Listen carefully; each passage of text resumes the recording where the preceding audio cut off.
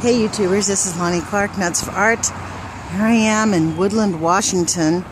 I stopped in at this really awesome little country breakfast where they make their own homemade sausages. I'm leaving and look what we're seeing. Look how they even crossed paths up there. What are they doing? I'm in Woodland, Washington. Why are they doing this to us? Look at you can see that's the sun right there. But look, one, two, three. There's they went three straight in a row.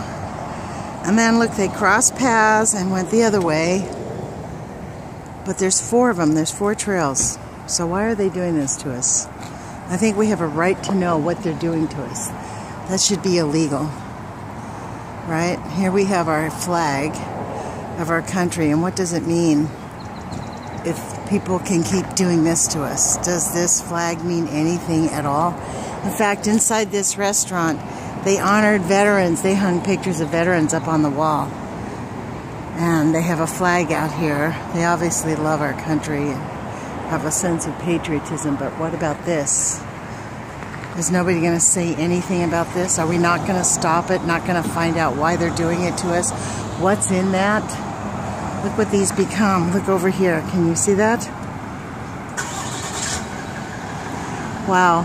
They're going to become clouds like that cloud. See over there? Can you see that? See how it's separating? It's just becoming a cloud and nobody notices. But that's a chemical, and where does it go? It comes down on us. So I'm going to post this to YouTube. I'm sorry I haven't been posting. I've been super busy. I'm driving up to Washington to see my niece. I'll be posting soon again.